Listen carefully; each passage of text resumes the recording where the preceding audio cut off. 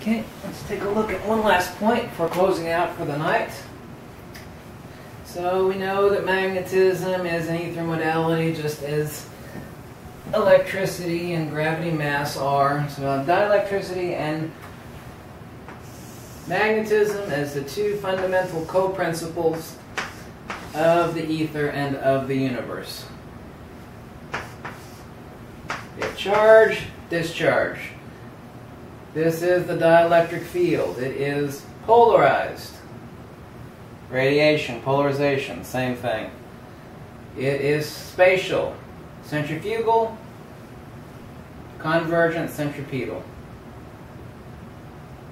It creates space. Everything that gives mass, massiveness, matter, either in the inner atomic or in its chalkboard, my hand, the camera, anything, is due solely to magnetism, discharge. The entire empirical universe is propped up by space, which is created solely by discharge, polarization, the radiation of dielectricity, which terminates into the creation of magnetism. We know that a magnet has macromagnetic preponderances because of the coherency of dielectricity in creating a soft magnet by using a large magnet, a, a powerful magnet, and stroking an iron bar, or from dielectric capacitance increase, which causes the incommensurable system within the, the, elect, the magnetodielectric conjugate system of the magnet. Magnetism does not drive magnetism. Magnetism does not attract anything. Dielectricity causes either voidance or countervoidance. Proving this is very, very easy. You'll say, well, prove it. Stop talking and prove it. Well, I will, trust me. Not in this video, however. Down here we have mass and gravity. Up here we have electricity, the product of phi and psi. Magnetism and dielectricity necessitated for the creation of electricity. This is nature's electricity. This is what is driving the inner atomic of every atom that you were taught. Was 99.9999%, etc., etc., empty space. It's nonsense. It's BS. It's absolute rubbish. Just in the creation of electricity, the inner atomic and the picometer of any atom is enormous amounts of dielectricity and magnetism. Everything over here is spatial. Everything over here is counterspatial. Positive space negative space. What are we trying to get at? Mass gravity is spatially accumulative. We're talking about space now. All radiation is spatially accumulative. Everything over here is positive space. This is radiation. This is discharge. This is charge. Termination, electricity and magnetism. Termination, dielectricity and special galactic formations in mass gravity. Electricity is spatially because it has a transverse component due to it being the product of magnetism and dielectricity. Spatially accumulative, but its field is counterspatial.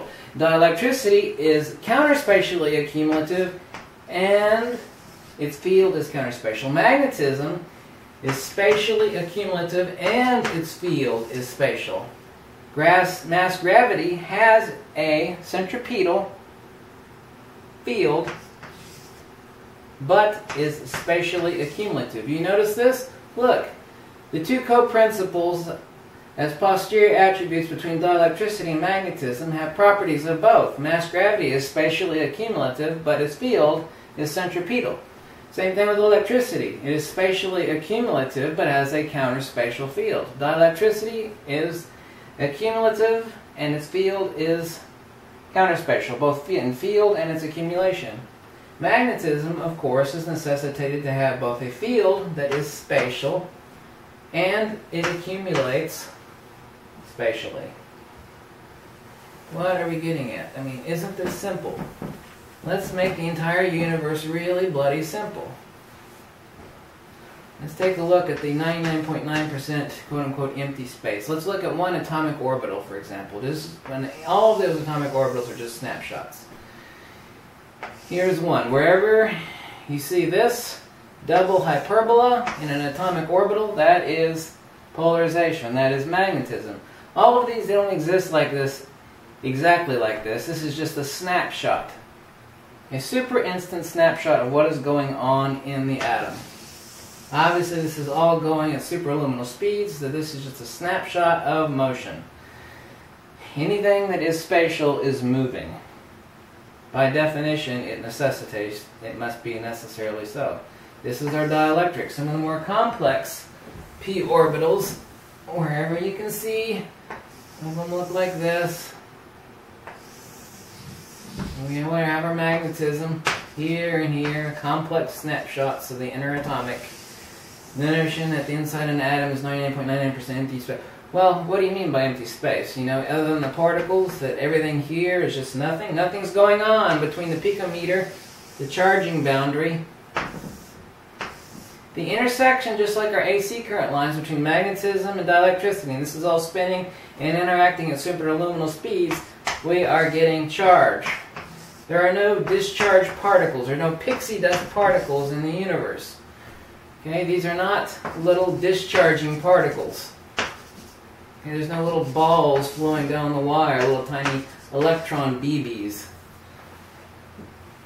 Oliver Heaviside called this a psychosis. Charles Proteus Steinmetz says it was insane, and it complicated the matters of understanding the electrical current in the AC system and understanding the fundamental principles of the universe.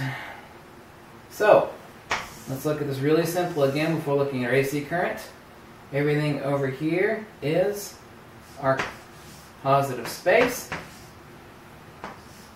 This is counterspatial. Its field is counterspatial. This field is centripetal, counterspatial. This one has spatial accumulation. And this one has spatial accumulation and a spatial field. So, the accumulation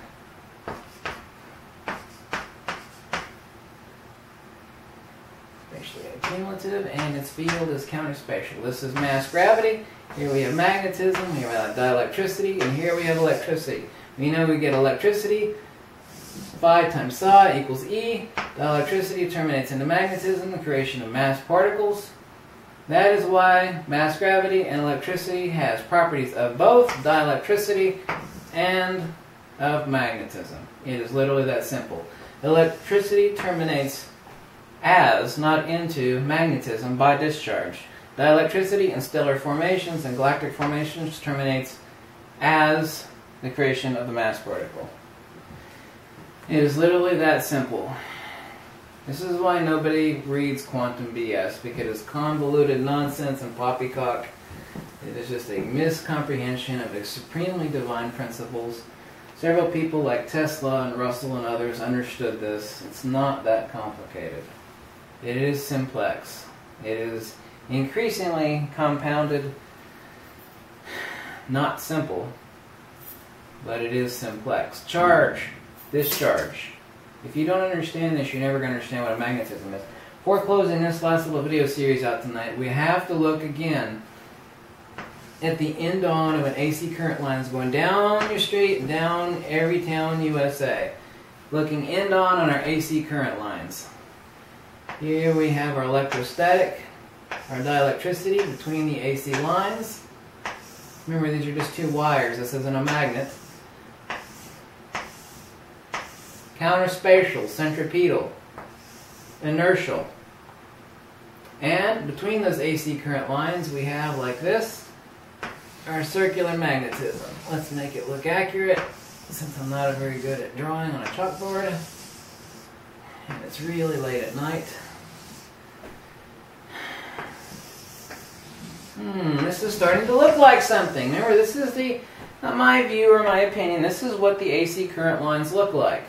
Here we have our AC current wires. Here we have our magnetism circulating around the AC wires. Now let's draw our magnet. Oh my god, look at that. Here we have our magnet. Here's our dielectric inertial plane. Now all we have to do is add gyromagnetic precession we have to force all of the dielectricity concentrated at the center, which it already was in the AC lines, but since it's a free binding system, it wasn't concentrated in a, in a binding system like the physical magnet. So we have to have uh, add our centripetal because it is reciprocating conjugate system in the binding magnetodielectric high capacitance in creation or coherent in soft iron from magnetic induction of a more powerful magnet. We have our centripetal magnetism. We've concentrated our dielectric there. And we have our gyromagnetic precession, which is too complicated to talk about right now. So we have our centrifugal divergent, centripetal convergent. Here we have our magnet. Oh my god, look! All you have to do is just take the end section of an AC current line system circuit and you can draw the magnet. Convergence, divergence. See this block wall here? It's not a block wall, it's dielectricity. This is what is driving the magnetism. Magnetism is radiation.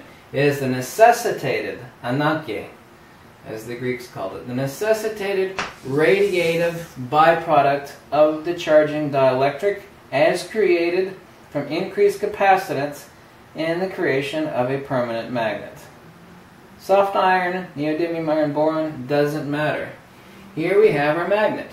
The only thing you have to add to a magnet, apart from the AC current lines, is greater concentration of the dielectric at the inertial plane, add gyromagnetic precession, and centripetal convergence. Instead of pure circular tori system, we have to necessitate centripetal convergence. But you can also see that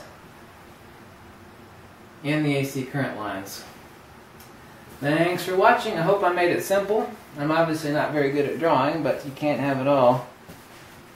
I'd rather have wise words from a bad drawer than a really good drawer that's taught me a bunch of BS and nonsense. Thanks for watching.